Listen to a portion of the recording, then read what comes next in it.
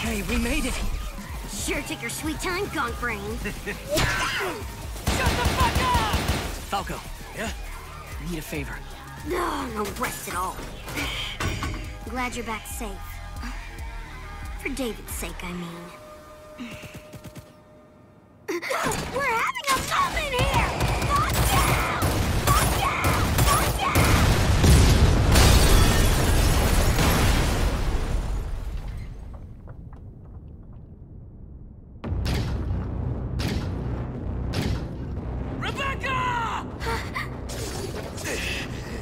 son of a...